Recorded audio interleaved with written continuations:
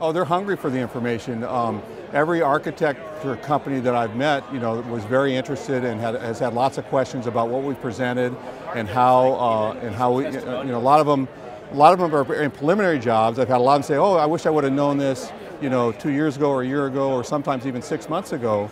But they're very, in my in my market, they're very happy to know that there's someone there that is pursuing that because I become a resource not only for knowledge but for specifications when they need help with their projects.